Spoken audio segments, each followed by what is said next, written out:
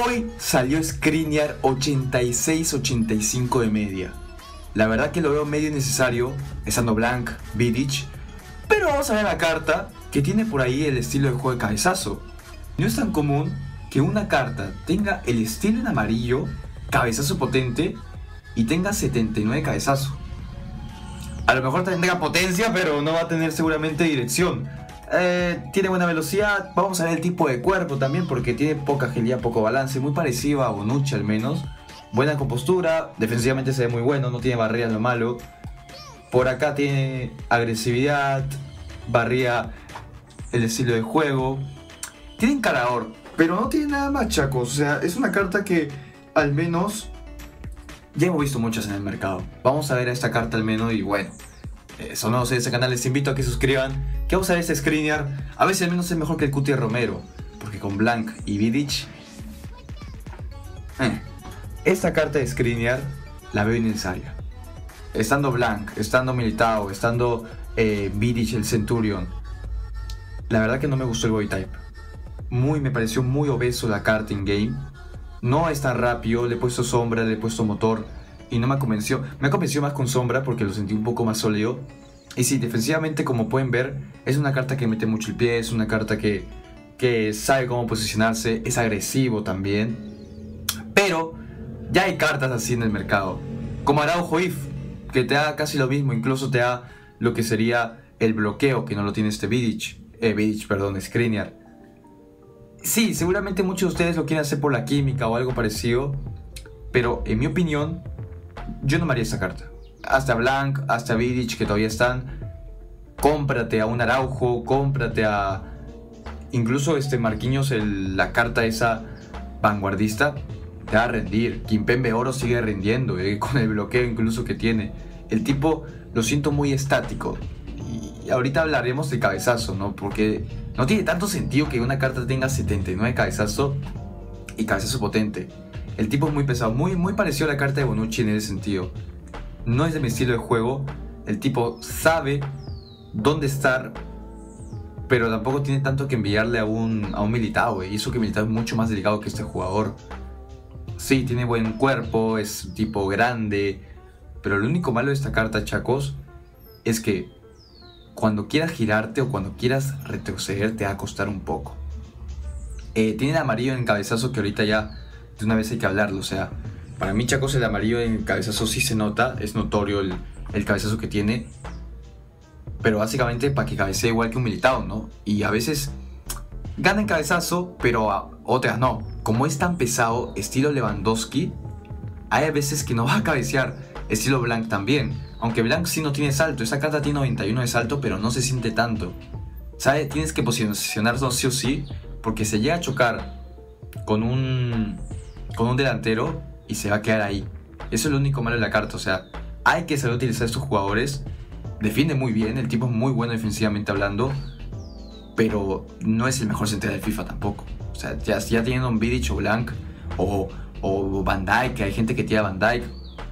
Araujo If, Araujo el nuevo que ha salido que es aquí en k El tipo puede defenderte muy bien, pero tirar tus medias acá lo veo necesario teniendo a Blanc y a Vidic al menos. Yo tiraría mis medias en esas cartas. Yo.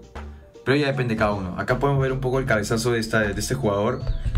Cabecea bien, o sea, ah, el cabezazo potente es importante, pero más que el cabezazo potente, me parece que es más importante lo que es el salto antes que el cabezazo, porque la mayoría de centrales tienen cabezazo, ¿no? Aunque este Skriniar no lo tenga, lo potencia obviamente que tenga eh, el cabezazo en amarillo. Pero eso, chacos, lo que yo recomendaría es que, a ver, si quieres tirar tus medias en esa carta, hazlo por ti, porque no es un central malo tampoco, pero es un central lento que acá, por ejemplo, un bowler le ha ganado muy sencillo, como pueden ver.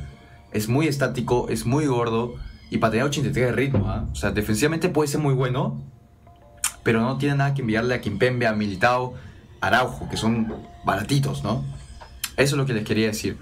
Y quiero que se queden con eso. No les, me gustaría que tienen las medias en este, en ese central, al menos no lo veo necesario. Y menos que mucha gente acá ya tiene a Blanc, ya tiene a Vidic, ya tiene un Araujo, o ya tiene incluso un héroe. Eh, King ya tiene un icono como Campbell, Ferdinand. Uno en el chat seguramente dirá papas, pero es que aparte de Marquinhos, Kimpembe, no hay más centrales. Si quieres tirar tus medias ahí, hazlo. Pero hay cartas. Está Diallo. Si es que mejoraste Medina. Si es que tienes a Kimpembe. Eh, no sé, la carta oro y te da todavía bien. Un Tite ahorita que es una carta que puede mejorar. Ahí se la dejo, chacos. Sí, seguramente cartas como Kimpembe, Diallo a lo mejor no le convence, pero son baratitos. ¿Y para qué tirar tus medias? Incluso puede hacer Aubameyang antes para darle química a la League One. Y bueno, chacos, no es para matar la carta tampoco. Pero está al nivel de coche Romero. Sí, puede ser un poco mejor eh, este amigo Skriniar, pero hay momento donde esta carta no te da la seguridad que pudiste haber visto en el video o que pudiste haber sentido no. Es ya depende de las situaciones. Ese Skriniar es muy parecido a este coche Romero, o sea, estadísticamente, mira, o sea, tiene casi los mismos eh, estilo de juego. Lo único que tiene cambio es que uno tiene eh, intervención y el otro tiene encarador. Que sí, eso puede ser bueno para algunos momentos y para otros. Pero como digo, o sea, por ejemplo, el Cuti Romero se siente más rápido que Skriniar. Es por el tipo de cuerpo, más que nada. Y cartas como un Titi queda muy bien. Cartas como Witzel. Me parece que estos dos están iguales o mejores. Witzel sí me parece mejor que Skriniar. Eh, un Titi va por ahí, o sea, igual puede mejorar más es la carta de un Titi. Así que hay que esperar nomás. Y como digo, chacos, es una buena carta. No la veo tan necesaria, o sea, es un SS que lo veo innecesario al menos de mi parte. Sí, no recomiendo mucho SBCs últimamente, pero recomiendo a Bamiyan, por ejemplo, que te da la química con la League One, que estoy seguro que tú necesitas. Eh, incluso te da la química con Klaus ahí, así que no puedes pedir más.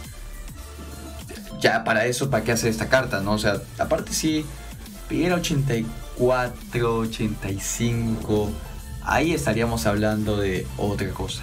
Pero opinión mía, no lo veo necesario, al menos yo no. Espero les haya gustado este video y seguramente nos vemos en la próxima, chacos. Me dicen en los comentarios qué opinan de este jugador, a ver si les gustó, si les convenció. Es una buena carta, defensivamente muy bueno, pero lo siento lento, lo siento muy pesado, muy estilo Bonucci en ese sentido. Un beso, chacos. Gracias por ver el video. Adiós.